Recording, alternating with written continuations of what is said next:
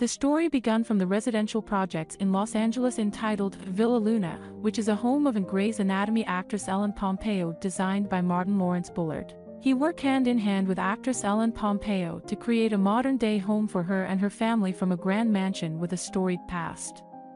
Breathing new life into grand rooms. The original ballroom of the main house was transformed into a comfortable family living room with all the space and convenience a modern family needs, whilst retaining the high style that Ellen loves. Hanging on the living room wall of actress Ellen Pompeo's home is an arresting painting by Claire Fontaine. Printed on a cherry red background is a snippet of remarks by fashion designer Marc Jacobs on his collaboration with artist Richard Prince in 2007, when the duo puckishly updated Louis Vuitton's venerable handbags.